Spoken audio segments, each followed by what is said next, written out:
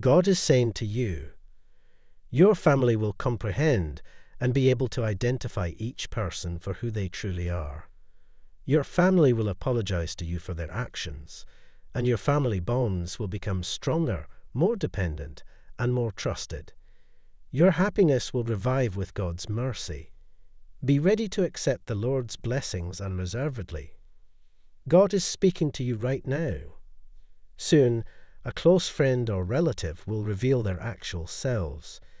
People who appear kind and sincere have been encountered, but as time goes on, their genuine motives will become clear. They'll start making fun of you, chatting about you behind your back, and spreading rumours to undermine you as their behaviour shifts. Because of your encounters with them and your own perceptions, it's normal for you to develop mental pictures and expectations of them. However, you have faith in a superior being. You are aware that God is always keeping an eye on you and that you are never alone. You may feel like you can't trust anyone after going through something like this, which can be quite painful. It will be challenging to reconcile your perception of the individual with their genuine nature.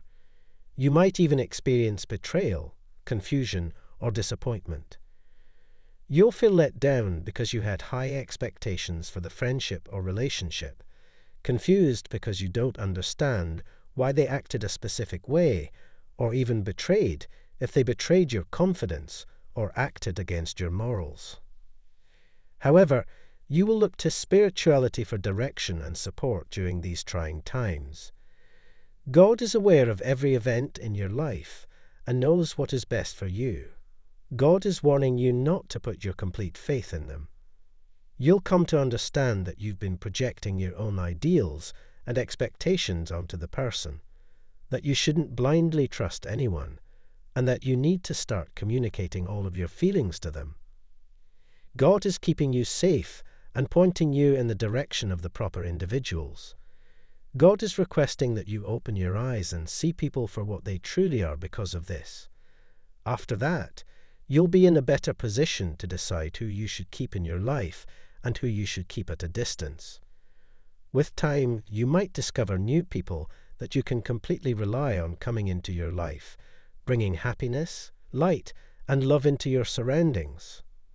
Therefore, despite the fact that it can be difficult to trust after being hurt, you will recover, and the right people will align with you shortly. Keep your spirits up, be strong, and have faith in the journey ahead. You will come to understand that you have been disregarding warning signs and not following your gut instinct, and that you need to be more cautious in the future.